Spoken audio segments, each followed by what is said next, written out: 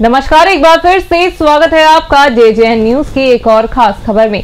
Chief justice of India D Y Chandrachud अपने कई अहम मामलों में सुनाए गए फैसलों के लिए जाने जाते हैं।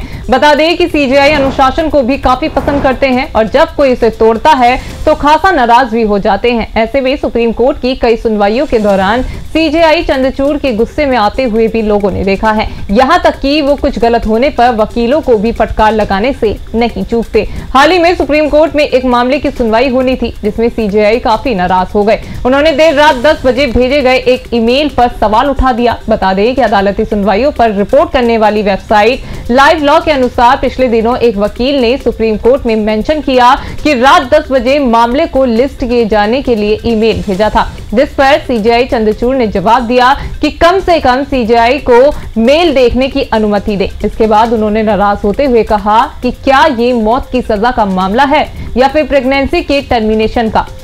कृपया रीजनेबल रहे।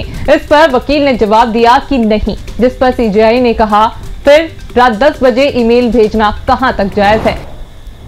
इस पूरे मुद्दे पर आप क्या सोचते हैं, हमें कमेंट बॉक्स में ज़रूर बताएँ। अभी के लिए सिर्फ़ इतना ही। बाकी की तमाम खबरों के लिए आप बने रहिए जय जैन न्यूज़ के साथ। नमस्कार।